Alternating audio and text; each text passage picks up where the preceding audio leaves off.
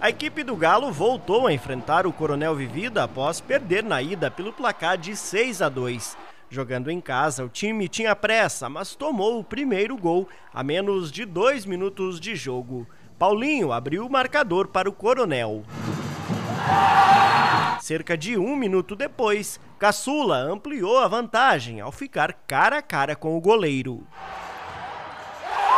Ainda na primeira etapa, o time da casa tentou descontar a diferença e só conseguiu no último segundo com Brian.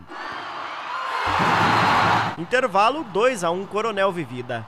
No segundo tempo, a equipe do Viziense começou buscando igualar o marcador com bons lances, mas parou em boas defesas do goleiro Marquinhos. Já o Coronel buscou o terceiro nesse contra-ataque, mas o goleiro Abner também impediu.